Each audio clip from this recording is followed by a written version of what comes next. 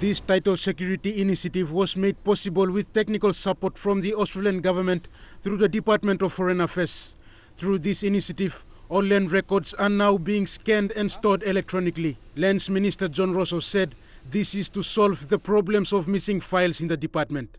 To ensure that most of our titles are put in a safe place so that they cannot be misused or misapplied. We are now looking on a new look state lease title with security features to avoid duplication of titles. This will solve the problem of missing files and abuse of the process inside the Department of Lands and Physical Planning. According to the minister, the department's automated system will be in use starting next year. Through this system, land title transfer and mortgage registration will be processed electronically. The minister says this will help increase revenue generated by the department. The Lands Department last year collected 27, approximately 27 million. In our opinion, and we know realistically, we can triple or quadruple that size, and that is what we aim to do looking forward with a much more efficient electronic system, giving out uh, billing and collecting the billing, working in conjunction with the finance department. One major reform the department is embarking on is the strata title bill.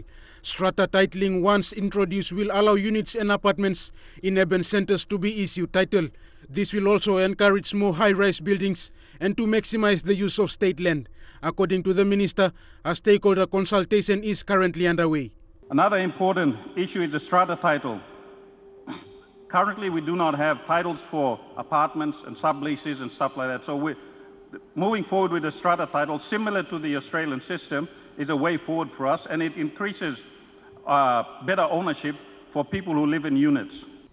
The minister also highlighted the need to amend laws administered by the department to be compatible with the changing environment.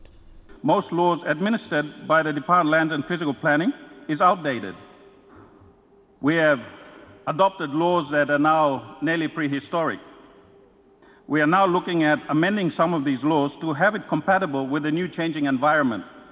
And in the modern world, we need to adjust our laws to suit our country also.